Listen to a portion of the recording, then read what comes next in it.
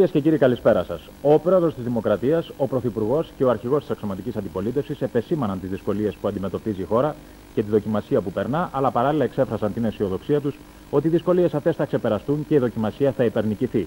Είπε συγκεκριμένα ο κ. Μητσοτάκης στο Μεγάλο Πεύκο, όπου επισκέφθηκε τη μονάδα ειδικών καταδρομών. Η χώρα μας περνά ασφαλώς μια βαθιά και πολύπλευρη κρίση, αλλά αισιοδοξώ πως με εθνική ενότητα θα αντιμετωπίσουμε όλα τα προβλήματα. Από τη Ρόδο που περνά τις ημέρες του Πάσχα μαζί με την κυρία Δήμητρα Λιάννη, ανάλογα ήταν και το μήνυμα που περιλάμβανε δήλωση του κυρίου Ανδρέα Παπανδρέου. Και θα ήθελα με την ευκαιρία αυτή να τονίσω ότι όλοι μας, κάθε Ελληνίδα και κάθε Έλληνας πρέπει να συμβάλλει στην αντιμετώπιση στην επιτυχία αυτών των προκλήσεων, των μεγάλων προκλήσεων αυτής της περίοδου που αντιμετωπίζει η πατρίδα. Λαλίστατος, ο πρόεδρος της Δημοκρατίας και αυτός το μεγάλο πεύκο διατύπωσε ορισμένες υποθήκες προς τον ελληνικό λαό στην τελευταία ουσιαστική εμφάνισή του πριν από το τέρμα της θητείας του.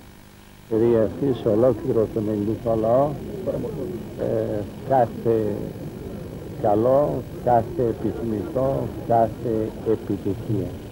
Και προπαντός καλή δύναμη στην κοινή προσπάθεια όλων για να πάμε μπροστά. Γιατί θα μπορέσουμε να επιβιώσουμε και να πάμε μπροστά μόνο εάν εντείνουμε τις δικές μας δυνάμεις. Να μην περιμένουμε τίποτε από άλλους. Εντυπωσιακή η συνάντηση της πολιτικής ηγεσίας στο Μεγάλο Πεύκο χθες το μεσημέρι. Ο πρόεδρος της Δημοκρατίας, ο πρωθυπουργός, ο υπουργός και ο αναπληρωτής υπουργός Άμυνας, κορυφαίοι εκπρόσωποι των κομμάτων, γιόρτασαν το Πάσχα μαζί με τις ειδικές δυνάμεις των ενόπλων δυνάμεων. Ο Τάσος Τέλογλου και η κάμερα του Mega Channel ήταν εκεί. Τόπο συνάντηση τη πολιτική ηγεσία ήταν το στρατόπεδο του Κέντρου Εκπαίδευσης Ειδικών Δυνάμεων στο Μεγάλο Πεύκο.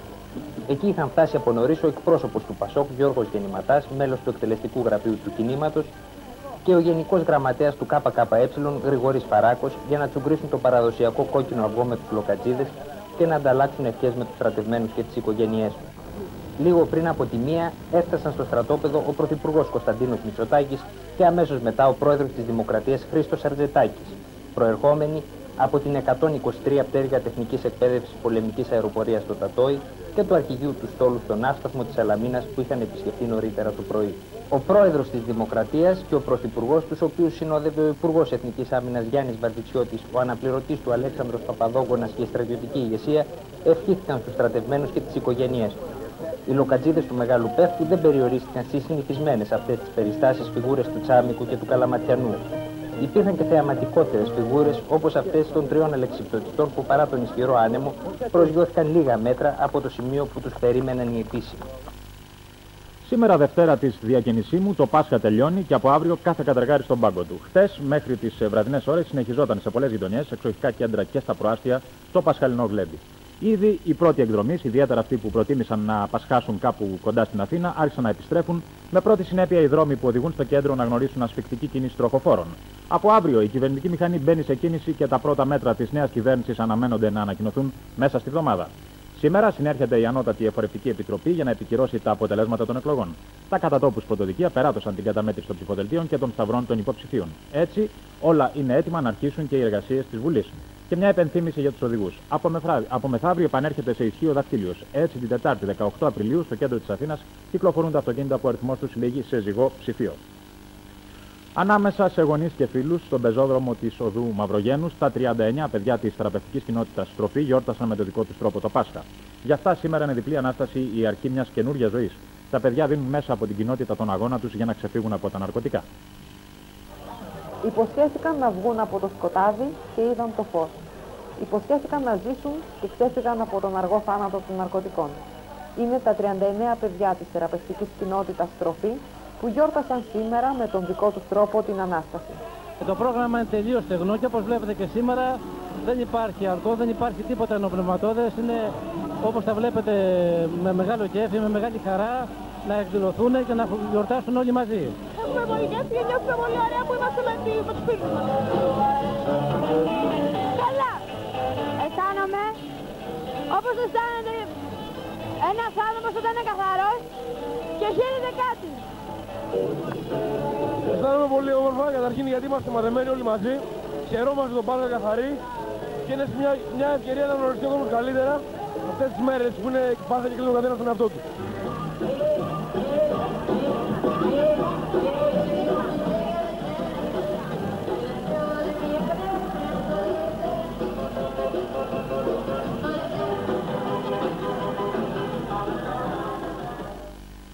Άνοιξη και Πάσχα συμβαδίζουν και οι κοσμοϊστορικές αλλαγές που σημειώνονται στην Ανατολική Ευρώπη τους τελευταίους μήνες δημιούργησαν ένα θρησκευτικό κλίμα και μια ατμόσφαιρα ιεροτελεστίας και επιστροφής σε παλιές δοκιμασμένες ρίζες που είχαν παραμεριστεί και αγνοηθεί. Η επιβλητική πασχαλινή συγκέντρωση στην πλατεία του Αγίου Πέτρου στο Βατικανό επιβεβαίωσε την υποβλητική ατμόσφαιρα που κυριαρχεί αυτές τις ημέρες στο κέντρο του καθολικισμού. Αλλά στις νεκρανευτημένε ουσιαστικά εκκλησίες της Ανατολικής Ευρώπης και στην ίδια τη Μόσχα, οι πασχαλινές λειτουργίες ήταν εξίσου επιβλητικές και υποβλητικές. Στη Βαρσοβία, στο Βουκουρέστι, στη Βουδαπέστη και στην Πράγα, οι κάμερες της τηλεόρασης αποτύπωσαν την αναβίωση του θρησκευτικού αισθήματος αλλά και τη λαμπρότητα των παραδοσιακών λειτουργιών.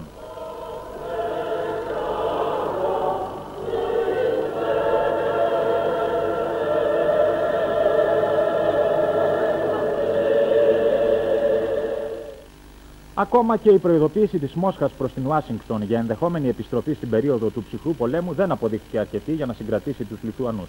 Στη Βίλνα, η ηγεσία της ομόσπονδης αυτής Βαλτικής Δημοκρατίας απέρριψε το τελεσίγραφο του Μιχαήλ Γκορμπατσόφ που εξέπνευσε τα μεσάνυχτα. Σύμφωνα με το τελεσίγραφο, η Λιθουανία θα υποστεί κυρώσεις αν δεν ανακαλέσει τη διακήρυξη της ανεξαρτησίας της από τη Μόσχα. Σύμφωνα με δήλωση στελέχους της κυβέρνησης, η γειτονική δημοκρατία της Εστονίας θα τοποθετήσει στη Λιθουανία αύριο διπλωματικό αντιπρόσωπο. Για ψυχρό πόλεμο μίλησε χθες ο Μιχαήλ Γκορμπατσόφ, αλλά οι ειρηνόφιλοι σε όλο τον κόσμο δεν το βάζουν κάτω. Στο Βερολίνο έγινε σήμερα η καθιερωμένη πορεία των ειρηνιστών. Στην πορεία αυτή που καθιερώθηκε κατά τη διάρκεια της δεκαετίας του 1950 πήραν μέρος για πρώτη φορά φέτος Ανατολικογερμανοί και Δυτικογερμανοί. Επίσης, για πρώτη φορά οι διαδηλωτές που ξεπερνούσαν τις 10.000 είχαν τη δυνατότητα να διασχίσουν σημεία του τείχους που χώριζε τον ανατολικό και το δυτικό τομέα του Βερολίνου. Μετά τις καθιερωμένες ομιλίες, τα άτομα που πήραν μέρος στην πορεία ξεχύθηκαν στους δρόμους τραγουδώντας και χορεύοντας. Νέα επιδείνωση χαρακτηρίζει την κατάσταση στην Αρμενία. Εθνικιστές επιτέθηκαν εναντίον του αρχηγείου της ΚΑΚΕΜΠΕ στην πρωτεύουσα της ομόσπονδης αυτής Σοβιετικής Δημοκρατίας Γερεβάν. Σύμφωνα με καταγγελία εκπροσώπου του Εθνικού Κινήματος Αρμενίας, κατά την αποτυχημένη απόπειρα κατάληψης του τοπικού αρχηγείου των Σοβιετικών Υπηρεσιών Ασφαλείας, ένας διαδηλωτής σκοτώθηκε και πολλοί άλλοι τραυματίστηκαν. Επί τόπου κατέφθασαν στρατιωτικές ενισχύσεις που επέτρεψαν να καταστεί δυνατός ο έλεγχος της κατάστασης για τους Σοβιετικούς. Ένας χρόνος πέρασε από την τραγωδία του Χίλσμπορο. Τα 95 θύματα που προκάλεσε ο συνοστισμός στις κερκίδες του αγγλικού αυτού ποδοσφαιρικού γηπέδου ήταν οπαδοί της Λίβερπουλ ηλικίας 18 30 χρονών. Για να τιμηθεί η μνήμη τους, έγινε την Κυριακή στο Λίβερπουλ ειδική τελετή στο γήπεδο του Άλφελ. Τουλάχιστον 30.000 άτομα παρέστησαν στην τελετή, κατά τη διάρκεια της οποίας κρατήθηκε ενός λεπτού σιγή για τα θύματα της τραγωδίας. Την ώρα που ο επίτροπος του Λίβερπουλ ευλογούσε 95 τριαντάφυλλα, οι χιλιάδες των παρισταμένων, πολλοί από τους οποίους κρατούσαν με τα δύο χέρια στον αέρα τα σποκόκκινα κασκόλ των οπαδών της Λίβερπουλ τραγουδούσαν ύμνους που ακούγονται κατά τη διάρκεια αγώνων της δημοφιλούς ομάδας του Μεγάλου Λιμανιού.